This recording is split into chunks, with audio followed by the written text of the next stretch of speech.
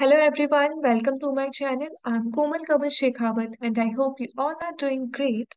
So in this video, I'm going to explain how to run vector autoregression Granger causality test that is VAR Granger causality test. So let's get started. So first of all, you have to import your data file in eViews and you can see this is my data file and I'm dealing with two variables here. One is GSDP, that is gross state domestic product, and the other one is social sector expenditure, right? So I have these variables in their log forms, okay? And I want to check whether there is any Granger causality between these two variables or not. All right. So first, select your dependent variable followed by the independent variable using the control key and then open these variables as group. Okay, so this is the data set.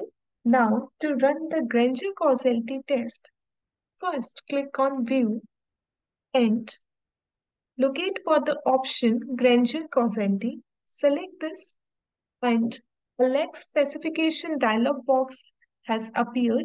So the automatic lag selection here is 2. So I'll proceed with the default and then click on OK. All right. So this is the result for Granger causality test as you can see. The sample is from 1980 to 2021. Lags included are 2. Now, in case of Granger causality test, the null hypothesis is that SSE does not Granger cause GSDP or GSDP does not Granger cause SSE, right? So this is the null hypothesis in case of Granger causality test. Next is the F statistics value and the probability value, right? So if you are taking into consideration 5% level of significance, then you will interpret the results accordingly. So you can take level of significance 1%, 5% or 10%. Okay. So I'm proceeding with 10% level of significance. So if this probability value is less than 10% level of significance, then we reject the null hypothesis. Okay. So looking at the first one, the probability value is 0.06, which is less than 0.10. That is the 10% level of significance. So I reject the null hypothesis.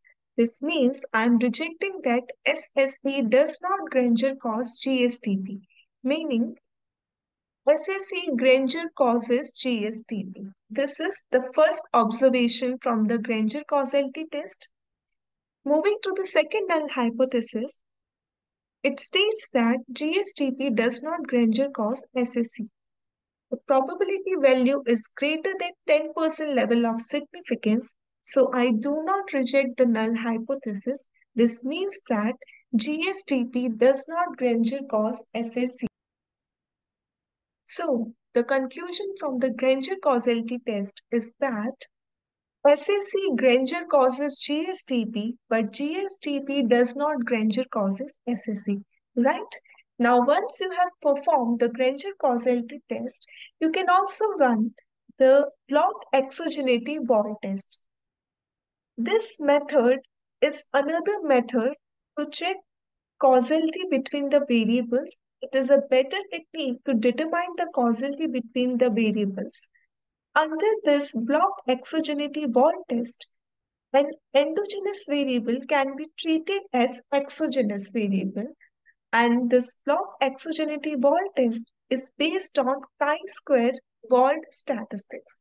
Okay, so let's proceed with the block exogeneity Wald test. You can close this window. Now moving to the block exogeneity Wald test, first select your concern variables and then open these variables as var. Okay. Now you will see this var specification dialog box. So the var type is I'm proceeding with standard var and the estimation sample as we know that it is from 1980 to 2021, right? Now in the endogenous variable box, we have two endogenous variables. One is gross-state domestic product, another one is social sector expenditure, right? So before performing the block exogeneity Wald test, you need to check the stationarity of your variables. If your variables are stationary at difference, then you have to put the difference of the endogenous variables in this box. So I have checked for the unit root of the variables and both these variables, GSDP and SSE, are stationary at first difference. Okay, so if your variables are stationary at first difference, you have to mention the first difference of the variables like this. You have to put D and the difference of both the variables. All right. So checking stationarity of the variables is very important here. The next is the lag intervals for endogenous variables. By default, it is considering lag 1 and 2 for the variables. However, there is a way to check for appropriate lag for the VAR specification. I have already uploaded a video on VAR model and there in, in that video, I have thoroughly explained how you can find out appropriate lag for your concerned variables. So do watch that video so that you can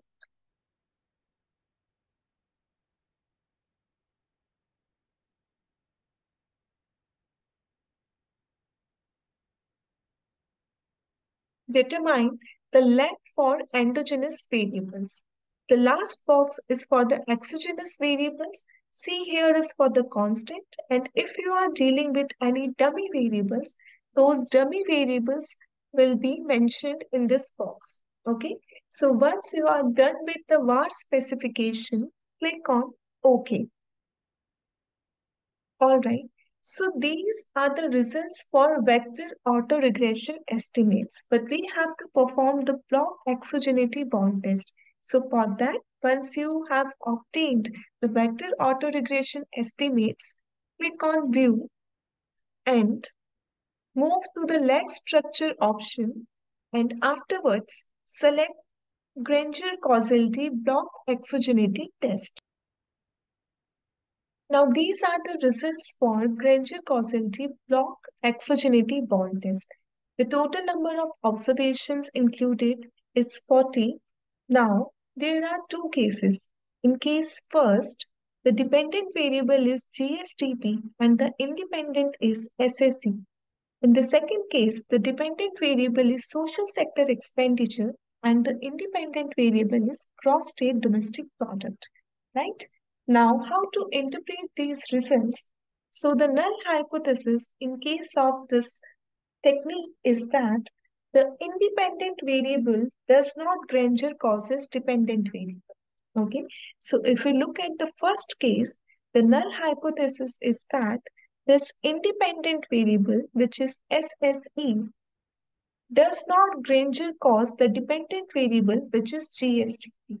Okay, now we have check for the probability value to come at the conclusion. So you can take 1%, 5% or 10% level of significance and if the probability value is less than 5% level of significance, so we reject the null hypothesis. In this case, the probability value is 0.03, which is less than 0.05 and it is also less than 10% level of significance. So we reject the null hypothesis. That is, we are rejecting that independent variable does not Granger cause dependent variable. So the conclusion is that the independent variable, which is SSE, it Granger causes GSDP, right? Now coming to the second case, here the probability value is greater than 5% or it is even greater than 10% level of significance. So this means that we do not reject the null hypothesis and we conclude that GSDP does not Granger cause SSE. So the conclusion from the block exogeneity Wald test is that SSE Granger causes GSDP, but GSDP does not Granger cause SSE. Okay. Same results were obtained from the Granger causality test. So block exogeneity Wald test we can say is a, another technique or a robust measure to identify whether the variables Granger causes each other or not. Okay, and this is how you can interpret your results. So block exogeneity Wald test concludes with the similar findings as that were obtained in the Granger causality Wald test. To run the VAR model, you need to ensure that your variables are stationary at first difference. If your variables are co-integrated with each other at level, then you need to perform the vector error correction model that is VECM model. Okay, so in case of co-integration between the variables, you have to proceed with VECM model. And if your variables are stationary at first difference, then you can run the VAR-Granger causality test. I have already uploaded videos on VAR model as well as on VECM model. So do watch those videos also. And thanks for watching. Don't forget to like the video and subscribe my channel. Thank you. Have a great day.